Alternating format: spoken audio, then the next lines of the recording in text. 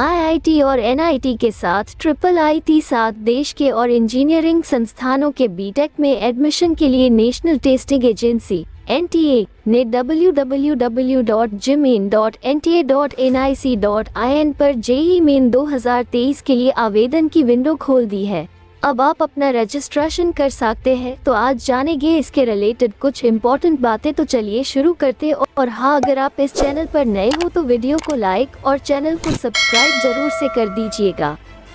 परीक्षा में शामिल होने वाले सभी छात्र ध्यान दें कि जेई मेन 2023 परीक्षा देश भर में तेरह भाषाओं में आयोजित की जाएगा। नेशनल टेस्टिंग एजेंसी एनटीए ने जॉइंट एंट्रेंस टेस्ट मेन का नोटिफिकेशन जारी कर दिया है और साथ ही 15 दिसंबर 2022 से जेईई मेन रजिस्ट्रेशन 2023 की प्रक्रिया भी शुरू कर दी है।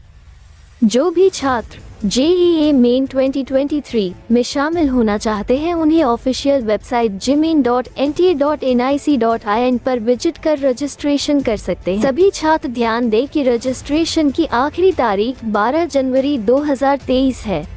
जेईई मेन दो सत्रों में आयोजित किया जाएगा। पहला सत्र जनवरी व दूसरा सत्र अप्रैल में होगा। जेईई मेन सत्र एक के लिए अभ्यर्थी 12 जनवरी 2023 की रात 9 बजे तक आवेदन कर सकते हैं। जेई मेन एक परीक्षा 24, 25, 27, 28, 29, 30 एवं 31 जनवरी को ऑनलाइन ली जाएगी।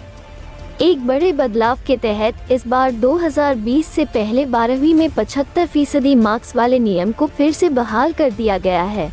कोरोना से पहले आईआईआईटी और एनआईआई व सी सीएफटीआई संस्थानों में एडमिशन के लिए बारहवीं में कम से कम 75 फ़ीसदी मार्क्स लाना अनिवार्य हुआ करता था। लेकिन वर्ष 2020 में कोरोना के चलते ये शर्त हटा दी गई थी। लेकिन 2023 से इसे फिर से लागू कर दिया गया है। इन संस्थानों में जोसा और सी काउंसलिंग के ज़रिए एडमिशन दिए जाते हैं। जेईई मेन 2023 में पाँच अहम बदलाव किए गए हैं। पहला central seat allocation board CSAB के ज़रिए एनआईटी, आईआईटी और सीएफटीआई संस्थानों के BE, BTech, BArch, B planning course में दाखिले ऑल इंडिया पर बेस्ड होंगे। लेकिन इसमें बारहवीं में कम से कम पचहत्तर फ़ीसदी मार्क्स की भी शर्त होगी। एससी व एसटी वर्ग के स्टूडेंट्स के लिए ये न्यूनतम मार्क्स पैंसठ फ़ीसदी रखे गए हैं।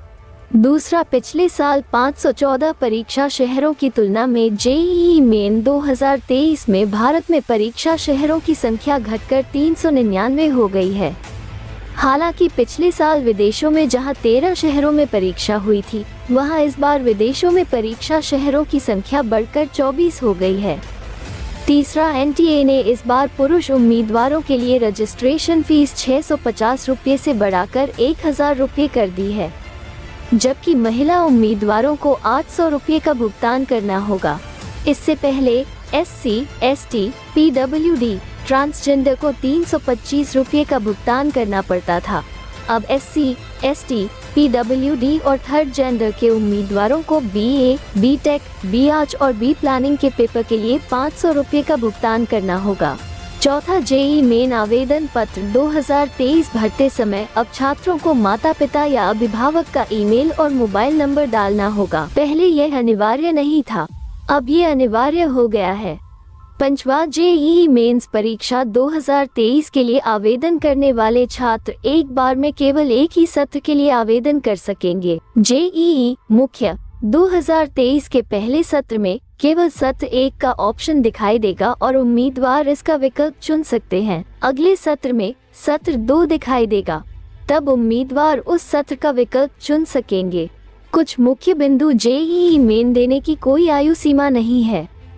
जिन उम्मीदवारों ने वर्ष 2021, 2022 में कक्षा बारहवीं की परीक्षा पास की है या 2023 की परीक्षा में बैठने वाले हैं वो जेई मेन 2023 में उपस्थित हो सकते हैं 2020 या उससे पहले कक्षा बारहवीं परीक्षा पास करने वाले उम्मीदवार जेई मेन 2023 में उपस्थित होने के पात्र नहीं हैं। एक बार फिर से समझ लीजिए रजिस्ट्रेशन शुरू की तारीख 15 दिसंबर 2022 और रजिस्ट्रेशन की आखिरी तारीख 12 जनवरी 2023 और परीक्षा की तारीख 24, 25, 27, 28, 29, 30 और 31 जनवरी 2023 को होगी। मिलते हैं अगले वीडियो में तब तक के लिए जय हिंद।